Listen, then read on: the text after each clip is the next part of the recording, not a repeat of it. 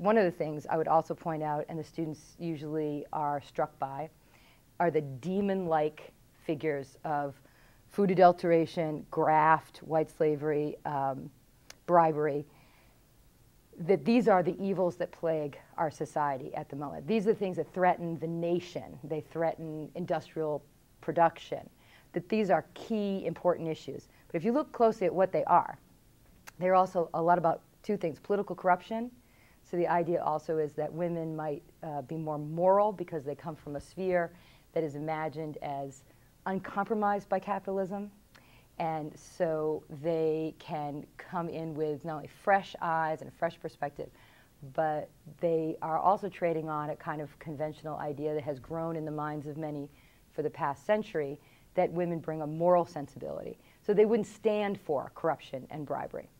Um, and white slavery is kind of thrown in there, and that might be something that you might also talk to students about. It might take you a little bit off topic, but I, this is how I would keep it on topic is that white slavery is the notion that women, white women, rather than black people, the whiteness there is very uh, key, um, are being taken across state lines, are being forced into prostitution, uh, being forced into sex slavery. And again, this is, is imagined as a woman's issue because women are, are thought to care about the lives of other women and about the moral turpitude or the moral character in general of society at large. So there's a lot you can do with a very uh, concise image if you really take a look at it and mine it for all the different dimensions that it presents. One of the reasons why I think this is the key issue is because, of course, there's also an anti-suffrage movement. And it's not made up of only of men who can't see past the idea that you know, women will be their helpmeets and, and be there for them when they get home from work. It's also made up of a good number of women a significant portion, especially of upper class women, um, who feel, who agree that women might have to step out of the private sphere into the public sphere, but they want to do so much more carefully. And they're much more circumspect about official roles in the, in the public sphere, particularly the vote. And here's the logic to that. And there is a logic to that. It's not simply a misogynist or deluded or consciousness problem.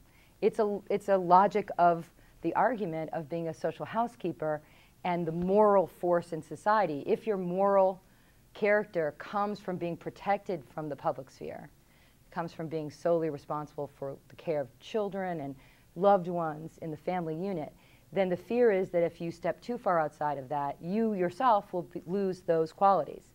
Um, so what anti-suffrage women argued is that women should take responsibility for households other than their own, for the community and maybe the city at large, and that there were roles for them to do so. There were professional occupations such as uh, social worker. There were reasons to do that, but that the ballot went too far and that the ballot put them in the same position as men and might actually erode the special qualities that they brought um, to the question of something like public health. So the public health campaign is central to the progressive era. It becomes central to the tug of war between women over whether or not to support suffrage or not.